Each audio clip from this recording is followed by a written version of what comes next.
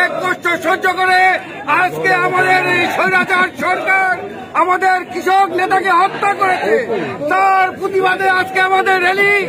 আমরা আজকে স্বৈরাচার সরকার পতন না ঘটিয়ে আমরা বিদায় নেব।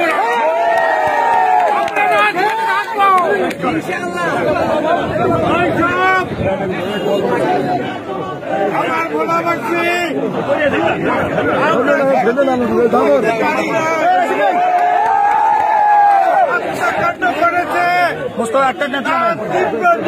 জানাবেন প্রতিশোধ